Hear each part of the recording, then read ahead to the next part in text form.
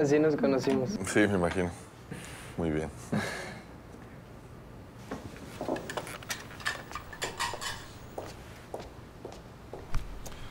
Y dime, jovencito, ¿qué piensas de las relaciones antes del matrimonio?